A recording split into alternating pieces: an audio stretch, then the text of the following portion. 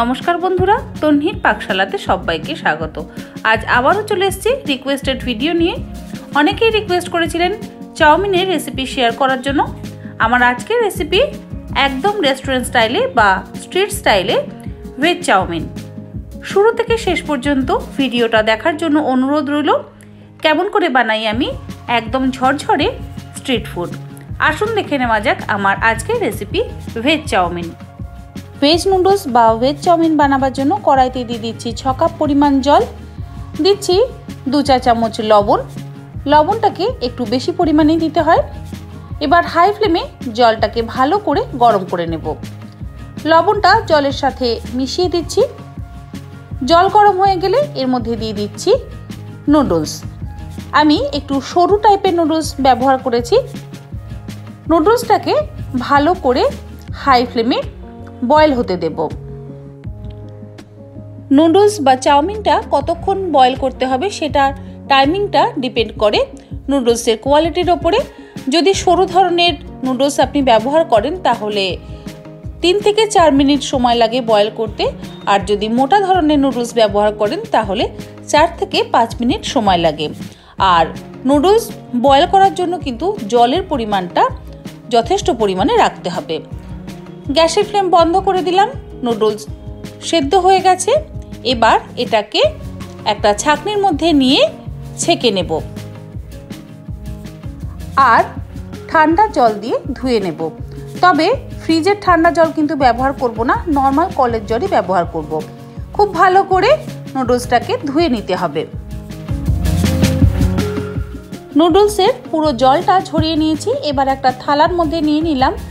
দিয়ে দিচ্ছি এক টেবিল স্পুন রিফাইন্ড অয়েল মানে ভেজিটেবল অয়েল এবার তেলটাকে দিয়ে খুব ভালো করে নুডলসটাকে মাখিয়ে নেব। এইভাবে তেল মাখিয়ে বেশ কিছুক্ষণ কিন্তু রেখে দেওয়া যায়। তিন থেকে চার ঘন্টাও রেখে দেওয়া যায়। এবার সবজিগুলোকে কেটে নেব। একটা পেঁয়াজ নিয়ে নিয়েছি। পেঁয়াজটাকে ভালো করে ছাড়িয়ে লম্বা লম্বা করে কেটে নেব।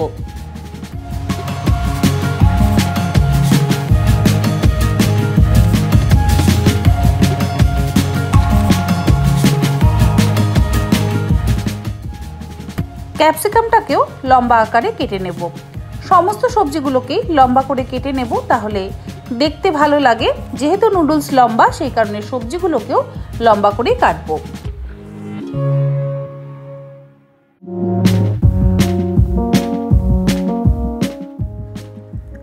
কড়াইতে দিয়ে দিচ্ছি three tablespoon refined oil মানে ভেজিটেবল অয়েল তেলটাকে হাই ফ্লেমে খুব ভালো করে গরম করে নিতে হবে। কড়াইয়ের চারিদিকে তেলটাকে খুব ভালো করে মাখিয়ে দেব। যে কোনো চাইনিজ ফ্রাইড আইটেম বানাতে গেলে হাই ফ্লেমে বানালেই ভালো হয়। দিয়ে দিচ্ছি কুচিয়ে নেওয়া পেঁয়াজ আর দিচ্ছি দেড় চা চামচ আদা রসুন বাটা। আদা রসুনের পেস্টের বদলে আপনারা আদা রসুন কুচিও ব্যবহার করতে পারেন। এক মিনিট সময় ধরে পেঁয়াজটাকে একটু ভেজে নেব। দিয়ে দিলাম লম্বা করে কেটে নেওয়া ওয়ান ফোর্থ কাপ গাজর one fourth cup spring onion আর চারটে কাঁচা লঙ্কা। সমস্ত সবজিকেই কিন্তু আমি লম্বা করে কেটেছি। হাই ফ্লেমে দু মিনিট সবজিগুলোকে একটু ভেজে নেব। যেহেতু গাজর আছে, সেই জন্য সবজিগুলোকে একটু ভাজতে সময় লাগবে। দু মিনিট পর এর মধ্যে দিয়ে দিচ্ছি ওয়ান ফোর্থ কাপ বাঁধাকপির পাতা আর ওয়ান ফোর্থ কাপ লম্বা করে কেটে নেওয়া ক্যাপসিকাম। বাঁধাকপি যদি দিতে অপছন্দ করেন, তাহলে অ্যাভয়েড করতে পারেন, তবে স্ট্রিট ফুডে বাঁধাকপির ব্যবহারটা হয়। আরও দু মিনিট সময় ধরে খুব ভালো করে মিশিয়ে নেব। স্প্রিং অনিয়নের গ্রিন পোর্শনটাও দিয়ে দিলাম। এটাও দিয়েছি ওয়ান ফোর্থ কাপ সমস্ত সবজিগুলোকে মোট ভাজতে সময় লাগছে আমার চার মিনিট। ভালো করে সবজিগুলোকে ভেজে নিচ্ছি। সবজি ভাজা হয়ে গেলে এর মধ্যে দিয়ে দিলাম সেদ্ধ করে রাখা নুডলস দিয়ে দিচ্ছি হাফ চা চামচ গোলমরিচের গুঁড়ো। আপনারা ঝালটা যতটা পছন্দ করেন ততটাই ব্যবহার করবেন। দিচ্ছি স্বাদ অনুসারে লবণ আর খুব সামান্য পরিমাণে একটু চিনি। এবার সব কিছু দিয়ে খুব ভালো করে মিশিয়ে নেব।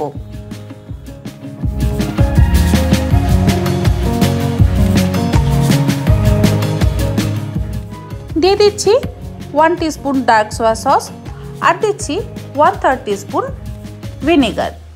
এবার সয়া সস আর ভিনেগার দিয়ে চাউমিনটাকে ভালো করে মিশিয়ে দিচ্ছি।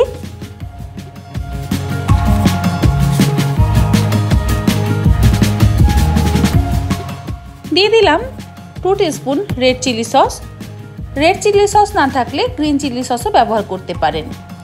ফ্লেমটাকে হাইতে রেখে আরও এক থেকে দেড় মিনিট সময় ধরে চাউমিনটাকে একটু ভেজে নেব। আমাদের চাউমিন মোটামুটি তৈরি হয়ে গেছে। খুব ভালো করে শুধু মিশিয়ে নিতে হবে। এই মেশানোর সময়তেও কিন্তু ফ্লেমটাকে হাইতেই রেখেছি।